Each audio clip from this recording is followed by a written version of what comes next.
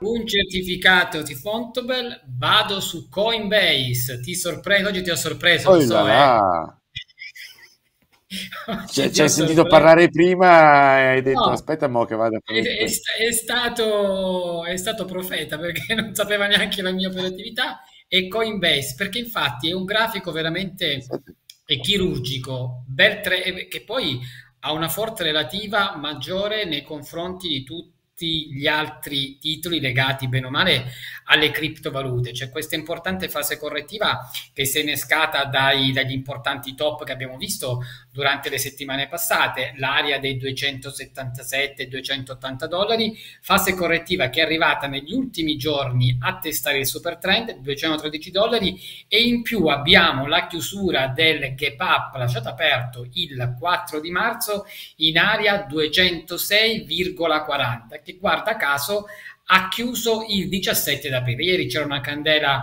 di una sorta di hammer che riporta i prezzi a contatto appunto con quei e con i livelli del super trend. La nostra operatività qual è? È di un ingresso in area 220 dollari con uno stop loss 198 e un target fenomenale, ritornare sui top 275 dollari.